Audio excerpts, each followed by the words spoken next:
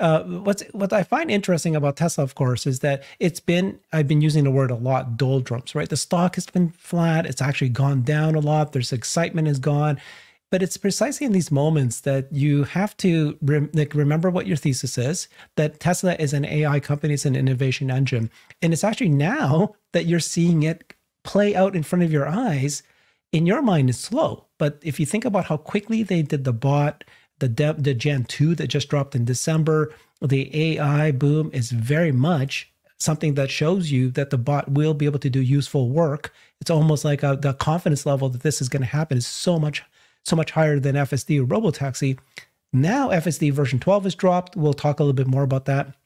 And version 12 so far, the the reactions are fantastic. It's still too early, but there is like at least I did a show where I had at least eight videos of uh, edge cases that version 11 has never been able to solve by different users, and now they show that version 12 can do this.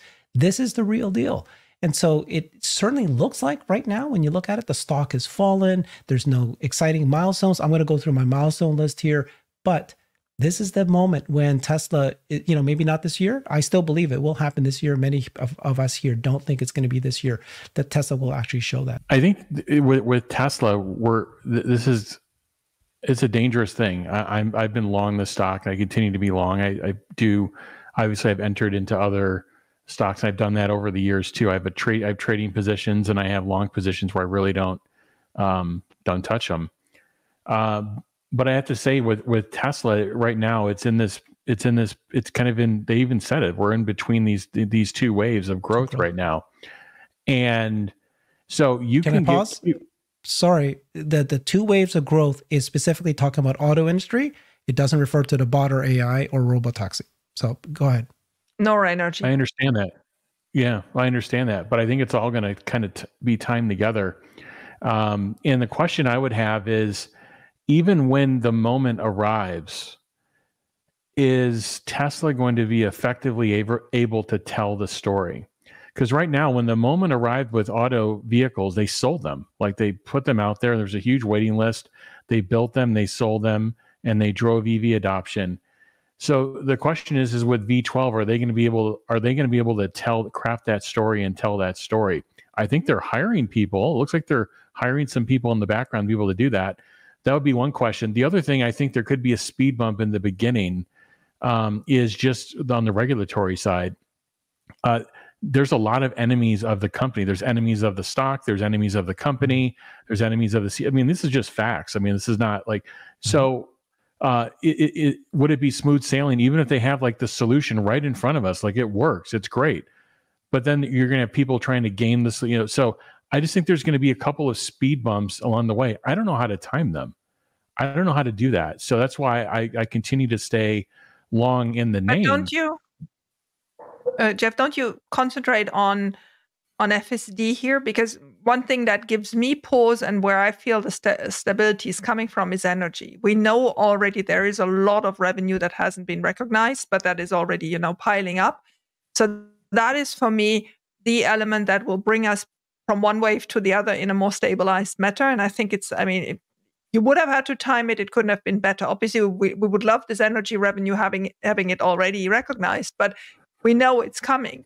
So, uh, so, so that helps me for this transition. And and the other thing is, you're right. Nobody knows how to time it. You know, this V12 Chat GPT moment can come today, tomorrow, in three months, in in three years. I hope not.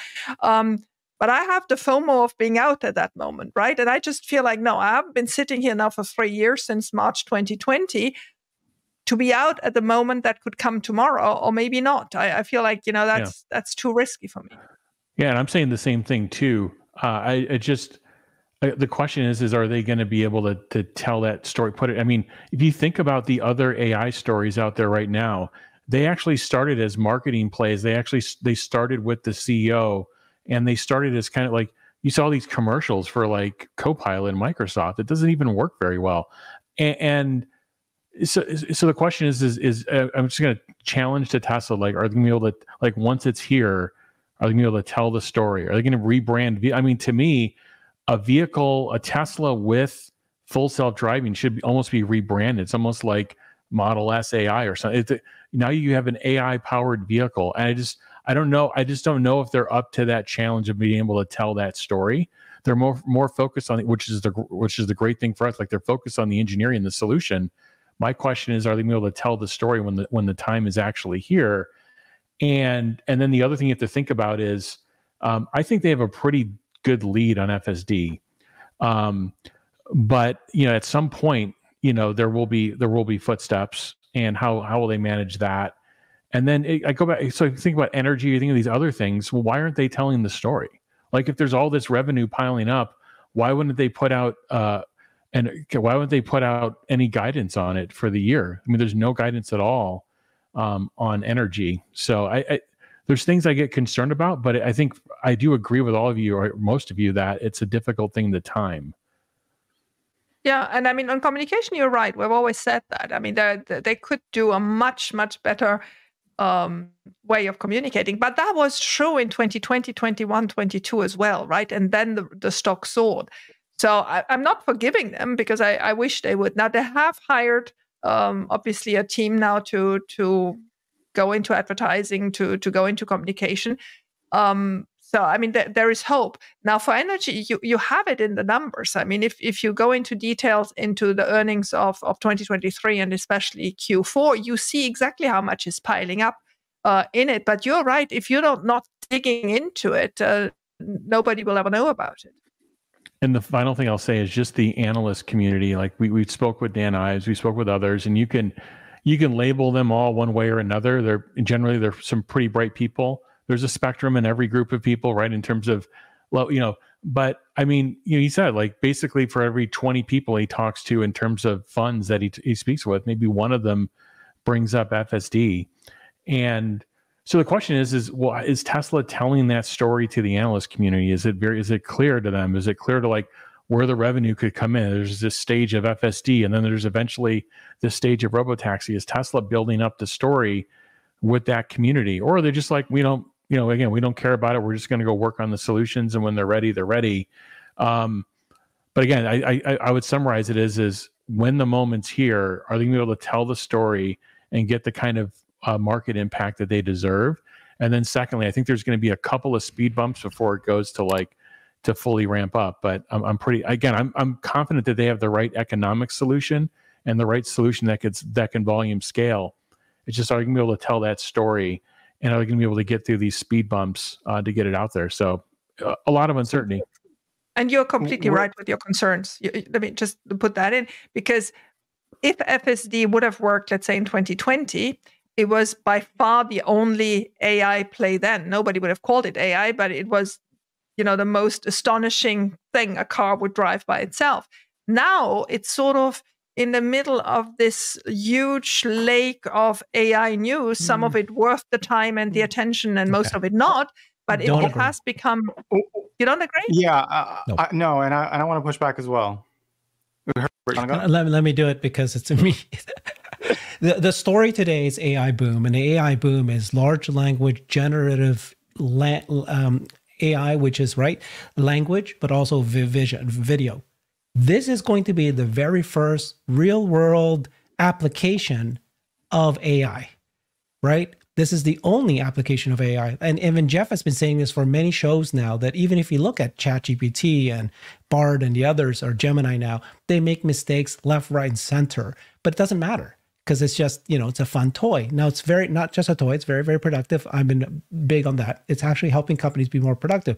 But this is an actual real world utilization. It's going to turn your car into a robo taxi in the future fsd now safer. So yes it's it's a very different thing. It's not just oh another ai story. I think it's big no, I'm yeah. not saying it's not big. I'm I'm just the perception of people, the attention span of analysts, the attention span of the market. Will it be, you know, perceived as being the singularly best application of it? Yeah, and just to jump in real quick, I agree with a lot of everyone's points. Everyone knows my concerns. I've already talked about it. Um, but but get, getting to the to the AI piece, and you may not agree with this, but this is just the way I think about it when you talk about like a Gemini, which I use, it, it's getting better, or a Grok or Copilot or whatever you're saying, no one's life is in danger if it makes a mistake. You can be productive with that. And if it gives you a wrong error or something silly, you move on to the next one and you become more productive. And we've already heard about that at Microsoft. It's making companies more productive. We heard what NVIDIA is saying. People want this. They wouldn't want it in droves if it wasn't being um, productive. Amazon has talked about how it's making customers want to buy more because the experience is so much better. So that is starting to be proven out, and, and those the money is starting to be generated. The problem with FSD, if they solve it, I don't think you need to really tell a story. It'd be nice to tell a story. It would support the stock, but if it's solved, the story will be told to the market because okay, we're doing this, it's done, and and and the, the stock will take off. The problem is, is that regulations one, two, it can't be 99, it can't be this thing has to be perfect. And I've talked about this a million times, but I don't think people appreciate it enough. If if if you're not perfect and people are on the roads and there's an accident here, an accident there, there is no way, and the public will spin it, and the enemies like Jeff will set, talked about eloquently will spin it, and it will set the project back.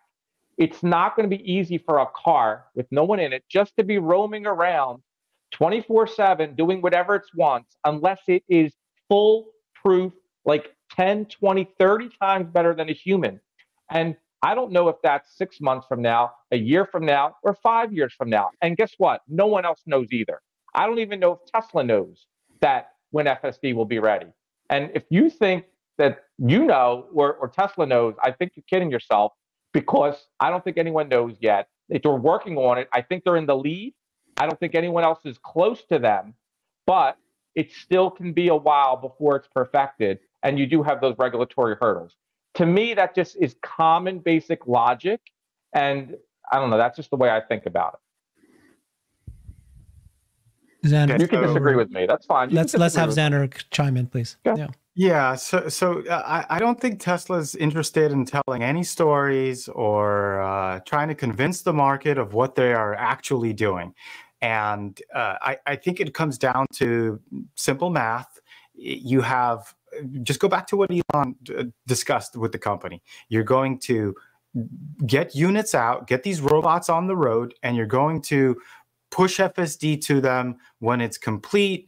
So, so now, now there's something very interesting that's happened, and, and we, I mentioned this on Cyber Bulls. So now uh, on our Tuesday uh, space, so you have Tesla rolling out uh, FSD 12 to randomized VINs where they have never done that before. They, they always sent it to, uh, you know, the really experienced users. I think that's an important thing to digest and to understand. Like that's different why, why are they doing that so when it comes down to you know telling the story i think that tesla will do something very simple i think they will push free fsd to or make the offer to new purchasers to existing purchasers to subscribers or whoever to try it once it's ready. Really their focus is uh, you, you know this this shift into basically ai figuring out how to drive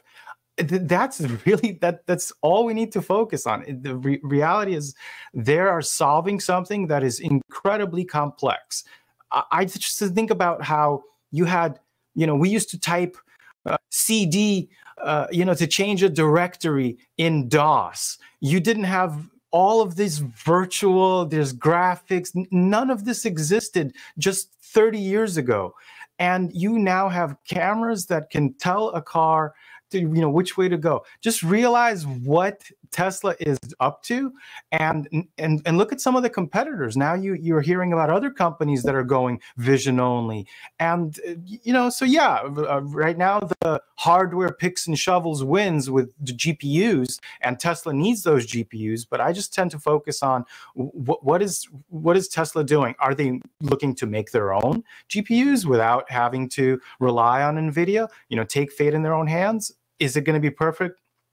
Right out the gate? No. You you have the way that they're going to change uh, and manufacture cars and bring down the cost? Like what happens when the the, the fourth gen vehicle comes out uh, and it is just you know 50% less expensive? What's the take rate going to be on that? So for me it's the that, that math of uh, FSD and and sure the, the cars as well. But uh, I, I just think yeah. And, and Well, if I, I- if I may just add one thing for communication, Jeff, and I'm sure you will p- pick up on this one is one thing that gives me really some uh, comfort is that we now see some of um, Tesla's C-level executives more on Twitter, Mhm. more on LinkedIn, on other social media, participating in the discussion, bringing subjects to us whenever you know something. It's Rohan, it's Drew, a couple of them. It's, it's Tom Zhu. I do believe they they know the lack of communication and the, the you know the need we all have for good information and, and understanding where they are in different developments and uh, and and I think that's their way of addressing it. Is it conventional? Of course it's not, but that's Tesla, isn't it?